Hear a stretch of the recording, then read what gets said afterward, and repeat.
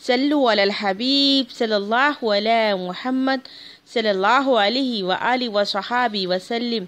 लाखों करोड़ों दरूदो सलाम। हमारे आका ताजदार मदीना अलैहि व सहाबी वसल्लम पर। अस्सलाम वालेकुम व रहमतुल्लाहि मेरे प्यारे अल्लाह वाले बहन भाइयों, उम्मीद करती हूँ कि आप सब खैरियत से होंगे। सबसे पहले रब काबा का शुक्र अदा कीजिए कि अल्लाह ताला ने हमें प्यारे महबूब आकई दो जहाँ सल्लल्लाहु अलैहि व आलिहि व सहाबी की उम्मत में पैदा फरमाया। सुबहान अल्लाह शुक्र कीजिए कि रब काबा ने एक बार फिर रमज़ानुल मुबारक से हमें नवाजा। अल्लाह वालो, पता नहीं किसको अगला रमज़ान नसीब होगा कि नहीं होगा। इसलिए इस रमज़ान की कदर कीजिए। इस रमज़ान की एक तस्वीर एक ऐसी बताऊँगी, जिसे पढ़ने वाला रिजक और दौलत से माला माल हो जाएगा इन ये तस्वीर पढ़ने से आपको समझ में नहीं आएगा कि कहाँ कहाँ से रब काबा ने रिजक और दौलत से नवाज़ दिया। अल्लाह वालो, क्योंकि मेरे रब ने फरमाया मेरे से मांगने वाला, यानी जो बंदा रब से माँगता है। तो फिर रब काबा उसकी तमाम हाजात को पूरा फरमाते हैं और उसको दौलत और रिजक झोलिए भर भर के नवाज़ देते हैं। और फिर उस बंदे को और उसकी आने वाली नस्लों को माला माल फरमा देते हैं। अल्लाह वालो, आप में से जो परेशान है रिजक की कमी की वजह से, गुर्बत तंगदस्ती की वजह से बेरोज़गारी की वजह से बे औलादी की वजह से। अल्लाह वालो माह रमज़ान में सिर्फ़ ये एक तस्वीर पढ़ के इसके मोजात अपनी आँखों से देखें कि इस तस्वीर पढ़ने से इन मेरे रब करीम की तमाम रहमतों और बरकतों के आप पर नजूल होना शुरू हो जाएँगे और फ़ौर ही आपके तमाम मसले हल हो जाएँगे और तमाम हाजतें पूरी हो जाएँगी। अल्लाह वालो हमने इस तस्वीर के बहुत रिज़ल्ट और फ़ायदे हासिल किए हैं और बहुत ही खैर बरकत पाई है इस प्यारे अमल में। तो फिर आप क्यों मारे मारे दर बदर की ठोकरें खाते हैं? अल्लाह से मांगिए जो कुल कायनात को बांटने वाला है। इन मेरे रब काबा, ये अमल पढ़ के जब आप मांगेंगे तो आपकी झोलियों को तमाम हाजात से भर देगा। इन अल्लाह वालो ये एक तस्वीर हर मुश्किल और परेशानी का हल है।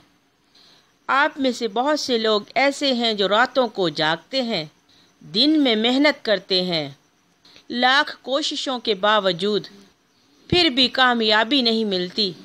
रिजक के लिए मारे मारे फिरते हैं, दौलत के लिए ठोकरें खाते फिरते हैं और लोगों के ताने सुनते फिरते हैं। तो फिर आइए अल्लाह वालो, आज माह रमज़ान में एक तस्बी पढ़ें और इस तस्बी के मोजात अपनी आँखों से देखें कि इस तस्बी की क्या फजीलत है। अल्लाह वालो, पूरा कुरान ही हमारे लिए अल्लाह ने रहमत, बरकत और शफाएँ बना कर भेजा है। मगर अफसोस कि हमने कुरान पाक को बंद करके अपने घरों में संभाल के रखा हुआ है। हमें वक़्त ही नहीं, हमें तोफ़ीक ही नहीं होती कि हम कुरान पाक को खोल कर उसका दीदार करें, उसकी तिलावत करें, उसको दिल से, दिल की लगन से, दीवानगी के साथ पढ़ें और जिस वक़्त मेरा अल्लाह ताला अपने बंदे पर प्यार फरमाता है, वो वक़्त कौन सा है? वो सजदे की हालत में वो कुरान पाक की तिलावत करते हुए, या हाथ फैला कर रो रो के दुआ करते हुए अल्लाह अपने बंदे को बहुत प्यार से देखता है और बहुत प्यार करता है। मगर अफसोस कि हमने तो अल्लाह की मोहब्बत अपने दिलों से निकाल दी, बस दुनिया की और दौलत की मोहब्बत को अपने दिलों में बसा लिया।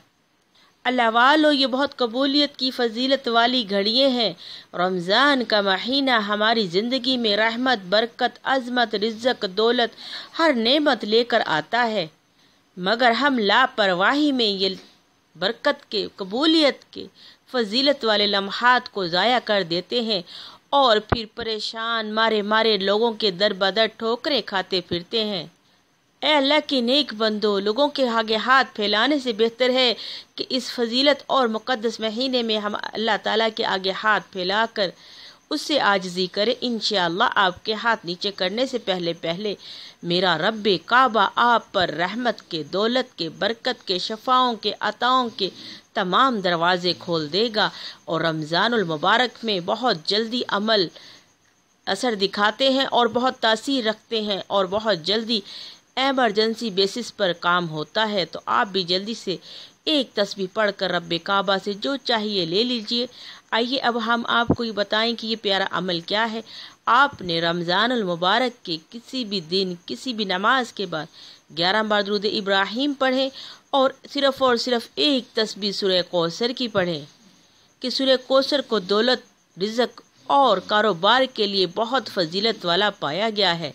उसके बाद फिर आप ग्यारह बार दुरुशरी पढ़ें और अल्लाह के हजूर दुआ करें इन हाथ नीचे करने से पहले पहले मेरा रब आपकी तमाम हाजात को पूरा फरमा देगा और आपको और आपकी आने वाली नस्लों को माला माल फरमा देगा और कभी रिजक की दौलत की कमी नहीं आएगी और आसानियाँ पैदा हो जाएँगी इन जजाकल्ला खैर। असलकम वरहमल वर्का